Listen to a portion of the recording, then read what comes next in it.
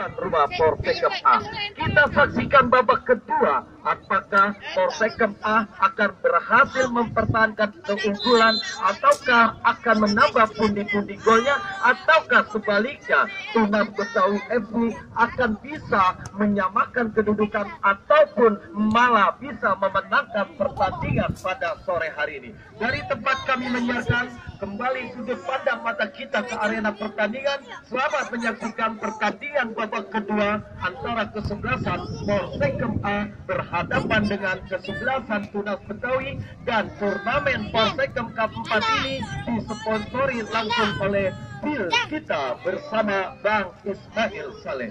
Kita nantikan nampaknya satu serangan dibangun oleh kesebelasan Polsekem A melalui satu lemparan ke dalam lakukan kerjasama tadi. Hensel nampaknya nomor punggung 14 Surojo tadi jelas di depan wasitnya memimpin jalannya pertandingan. Satu peluang lakukan umpan datar melalui sayap sayap kanan nomor punggung 8 Sofian Hadi. Angkat ke depan kita nantikan terjadi perebutan Basuki nomor punggung 9 tadi.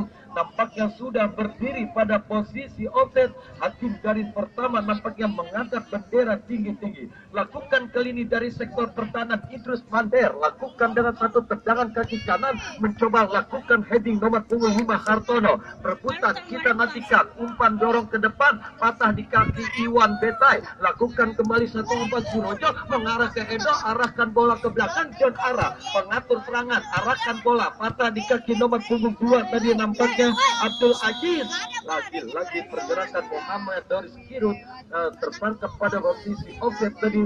Lakukan Aziz kerjasama tarik kembali cukup bagus Aziz. Mencoba memperagakan umpan dari kaki ke kaki anak-anak tunas Betawi. Kita nantikan kali ini olah bola dilakukan nomor punggung 15 salah kali ini nampaknya patah di kaki nomor punggung 2 subur tadi lakukan kerjasama nomor punggung 5 dorong bola ke depan Hartono. Kita nantikan mencoba terjadi mopping body Edo dengan nomor punggung 18 saudara-saudara nampaknya tadi bola mengalir sudah meninggalkan garis dari lapangan. Lakukan kali ini nomor punggung 15 dari kesebelasan Polsekem A. Kita nantikan saja saudara-saudara satu serangan tadi dilakukan oleh Wawan Setianawan. Nampaknya lagi-lagi bola meninggalkan garis tipis dari Stadion Mini Polsekem lakukan lemparan ke dalam uh, kesebelasan Tunas Betawi. Rebutan di sektor lapangan tengah, angkat bola ke depan, satu sentuhan dada. Lakukan nomor punggung 9 Basuki, angkat bola ke depan, berdiri bebas nomor punggung 10.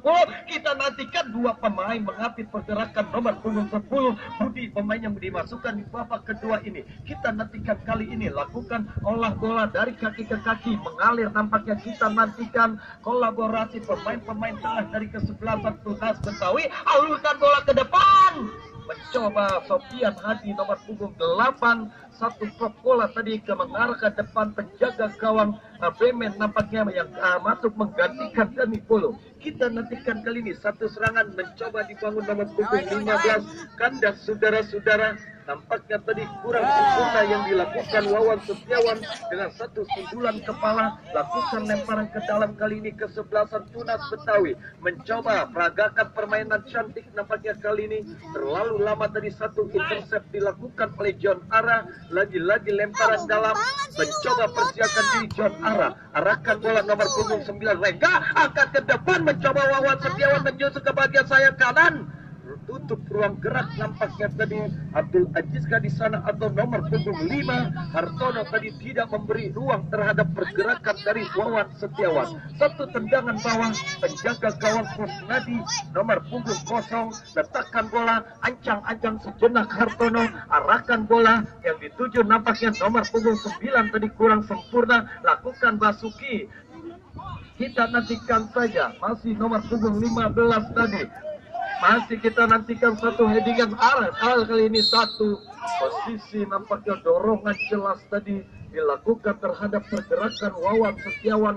Pemain yang cukup handal pada sore hari ini diturunkan oleh Porsekem A yang mempunyai mental cukup bagus bertanding pada sore hari ini dengan sifat sportivitas dan fair play nampaknya untuk mensukseskan turnamen Porsekem Cup 4 lakukan kali ini John Araka yang bersiap-siap nampaknya lakukan gerak tipu. Duh, sudah dilakukan tadi nomor punggung 14 Surojo. Maksudnya gerak tipu umpan ke depan dengan pergerakan John Ara nampaknya kurang sempurna tadi yang dilakukan oleh Surojo. Kita nantikan saudara-saudara satu serangan dirangkai oleh kesebelasan Tunas Betawi melalui kaki nomor punggung 10 kurang sempurna. Lagi-lagi kandas. Kita nantikan Budi tadi. Kita nantikan Kirut mencoba dia menyusul ke bagian depan. Lemah lemah saudara-saudara kaki kiri yang dihentakkan oleh Doris Kirut tadi hanya satu uh, lawan langsung dilakukan oleh sektor pertahanan kesebelasan Tunas Betawi. Kita nantikan serangan kembali dibangun oleh Tunas Betawi.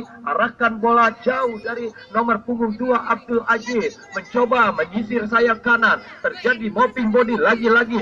Kita nantikan Jani Kobra berhadapan dengan Sofian Hadi. Berdiri bebas dia angkat bola ke jantung pertahanan berbahaya satu tendangan tadi. Mencoba ke sudut kanan sempit penjaga gawang Pemen namun apa daya nampaknya nasi sudah jadi bubur satu halauan yang dilakukan oleh Pemen dibiarkan saja bola mengalir meninggalkan dari garis mistar penjaga gawang Pemen kita nantikan saudara-saudara Idrus Mander arahkan bola sudah tinggi datangnya bola. Mencoba song-song di sana. Edo cukup bagus kita nantikan. Edo umpan ke depan.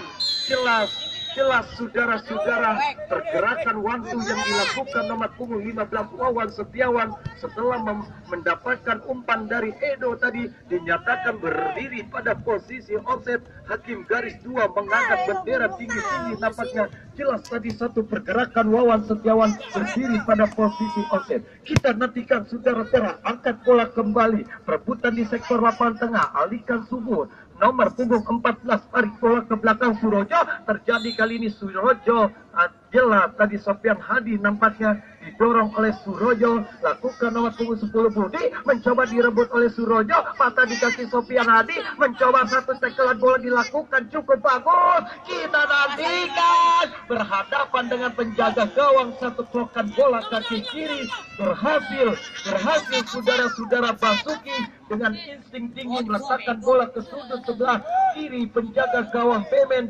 merobek jalan sementara merubah skor di scoring board. Nampak 1-2 1-2 Tunas Betawi memperkecil ketinggalan